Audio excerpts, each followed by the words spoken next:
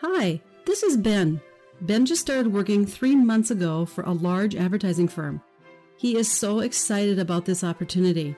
Today, Ben is participating in his first team meeting discussing a project for the firm's largest client. Let's do some eavesdropping. The team is outlining several concepts for their ad campaign. Notice how Ben appears smart, talented, and eager to learn. But as you will see, Ben struggles with one problem. Ben isn't very sure of himself. In fact, he tends to second guess himself, especially when he's under pressure. Let's watch what happens as the team leader conducts a brainstorming session with the team. Look, Ben is starting to talk, but something gets in the way. Another team member speaks up, interrupting Ben. Ben seems to be confused about this. So Ben tries once more. Again, he gets interrupted and dismissed. At this point, Ben is getting concerned. He is wondering why people won't acknowledge his ideas or him.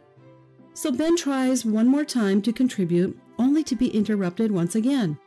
Ben is now becoming frustrated. Notice how the other team members are ignoring Ben and his ideas. Unfortunately, Ben finds that people interrupt him a lot. He feels helpless. Sadly, Ben tries hard, but he just doesn't seem to be getting the respect or appreciation for his talent that he deserves. Does Ben sound familiar? Perhaps you've been in Ben's shoes at work. If this has happened to you, here's what you can do to get the recognition and respect you deserve. Ben has learned that to be noticed and taken seriously, he has to grow his confidence, become likable, and cultivate trust among his colleagues. Let's see what happens when Ben has a strong self confidence and is trusted by his peers. Now, Ben realizes he has an opportunity to build trust. Watch what happens when the meeting begins with Susan's comments.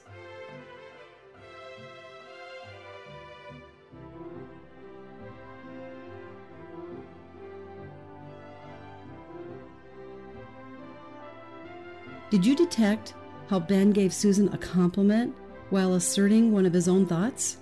Ben is being appreciative and expressing his own idea. This takes confidence.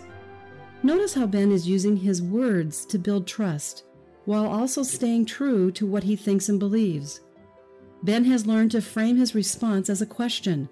Doing this shows other people he's interested in their ideas. He is inviting participation and engagement. Successfully doing this requires a level of trust between the team and Ben. Now, Ben has an opportunity to guide or influence the team while at the same time being likable and respected. Ben has created a space within the meeting for further discussion and new ideas. Did you notice how once Ben became more confident, spoke in a way that made others curious enough to listen to him, and opened the door for the team to trust him, the team paid attention and didn't dismiss him at all? This entire brainstorming session turned out very differently from the first scenario all because Ben worked on developing his confidence and trustworthiness. Ben worked at making this happen, and you can make your less than desirable circumstances turn out differently too. You have the power to influence situations like you've never imagined. If you would like to know how well prepared you are in turning a bad situation into a win win situation, how confident or likable you are, then go to the link on this page or under this video and read more about what you can do to make a difference in your life.